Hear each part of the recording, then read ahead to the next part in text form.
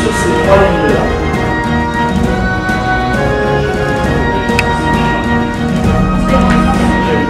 Les anciens souverains faisaient ça. Les gens dans le temps et arriver à frégate au vert. On a la chance dans notre région d'avoir une frégate euh, d'armement que sur l'autre frégate vers les Indes, le commerce des épices.